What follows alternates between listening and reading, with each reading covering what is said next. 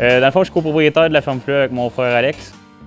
Les fermes Fluet, c'est 40 employés qui nous aident à temps plein pour euh, toutes les main-d'œuvre. On a fait venir un travailleur étranger en septembre dernier pour nous porter main forte. Les femmes fluets, ça compose de 4800 cochons en pouponnière, 2500 en agressement, un centre de grains de 6000 tonnes de réserve avec 165 euh, hectares de terre. Euh, aujourd'hui, l'entreprise laitière Fermoil Fluet compose de 75 kg jour. On a une moyenne de 10 300 kg de lait à 4,3 de gras et 3,4 de protéines. Le départ de l'entreprise laitière Fermoil Fluet a commencé en 2013 avec 17 kg jour, 20 vaches et aucun animal de relève. Euh, au fil des années, on a pris de l'expansion puis ça nous a permis d'améliorer le confort. Comme euh, en 2019, on a acheté le site ici qui est l'étabator, pour, euh, qui était anciennement en bergerie, tout rénové nous-mêmes pour transformer en étable freestyle. L'un de nos meilleurs sujets de la ferme Fluet est Fluet Dorman Charlotte, excellente 90 3E. Euh, elle a une production à dernière lactation de 15 047 kg en 305 jours à 4 de gras et 3,4 de protéines.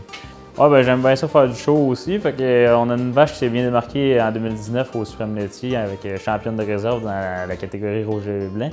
C'est Intense Harmonie Pamela qui est excellente 91.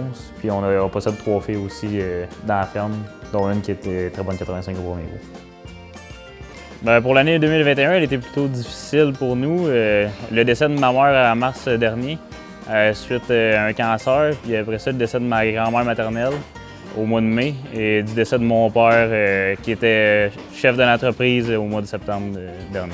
Ben, on s'est tous tenus les coudes ensemble, puis on a su surmonter le moral difficile, puis toutes les intempéries, on pourrait dire. Puis on peut assurer aujourd'hui la, la continuité des deux entreprises avec ça. Pour l'avenir, on aimerait ça euh, s'agrandir par l'intérieur, comme on peut dire, améliorer nos performances, puis euh, aller chercher le maximum dans chaque domaine qu'on possède, puis aussi peut-être euh, l'augmentation du cheptel en ajoutant du quota puis des animaux, et peut-être l'agrandissement des, terres aussi.